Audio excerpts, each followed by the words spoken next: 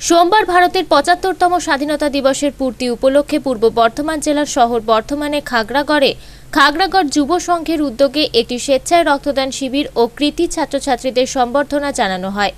এদিন ফিতে কেটে রক্তদান শিবিরের উদ্বোধন করেন বর্ধমান দক্ষিণ বিধানসভা কেন্দ্রের বিধায়ক খোকন দাস। এছাড়াও উপস্থিত ছিলেন জেলা তৃণমূল কংগ্রেসের সাধারণ সম্পাদক আব্দুল রব সহ বিশিষ্ট ব্যক্তিবর্গ।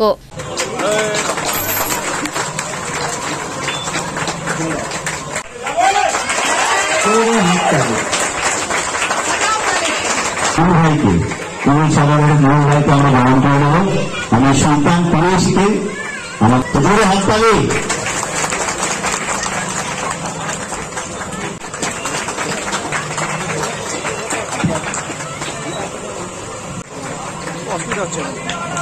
এরপর আজকে আমাদের দেশের পঁচাত্তরতম স্বাধীনতা দিবস। এই স্বাধীনতা দিবসকে সামনে রেখে আমাদের খাগড়াগড় যুব সংঘের উদ্যোগে সারা দিন ব্যাপী যে কর্মসূচি নিয়েছে, সেই কর্মসূচির আজকে সন্ধ্যাবেলায় যে রক্তদান শিবির চলছে, এই অনুষ্ঠানের মাঝখানে আমরা উপস্থিত হয়েছি।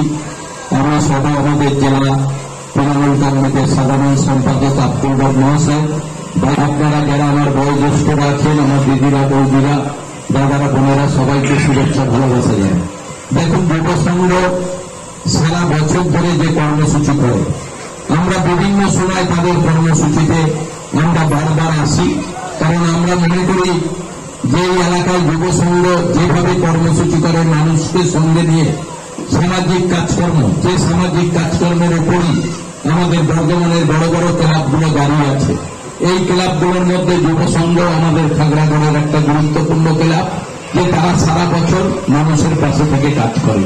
আজকের এই পঁচাত্তরতম স্বাধীনতা দিবসে সকাল থেকে তারা পতাকা উত্তোলন করেছেন, স্বাস্থ্য শিবিরের আয়োজন করেছেন, বিনা পয়সায় ওষুধ দিয়েছেন, সন্ধ্যাবেলায় রক্তদান শিবিরের আয়োজন করেছেন মাধ্যমিক, উচ্চ মাধ্যমিক ছেলে মেয়েদের তারা সম্বর্ধনা দিয়েছেন, এটাই তো কাজ। এই কাজই তো করতে হবে। এলাকার ভালোভাবে থাকতে হলে এলাকার পরিবেশকে ভালো করতে হলে ক্লাবকে একটা মুখ্য ভূমিকা নিতে হবে। আর আমরা মনে করি এই ক্লাব যেভাবে মানুষের পাশে থেকে কাজ করছে এই ক্লাব একদিন অনেক বড় জায়গায় যাবে। এদিন রক্তদান ঘিরে খাগড়াগড় যুব সংঘের সদস্যদের কর্মব্যস্ততা লক্ষ্য করা যায়।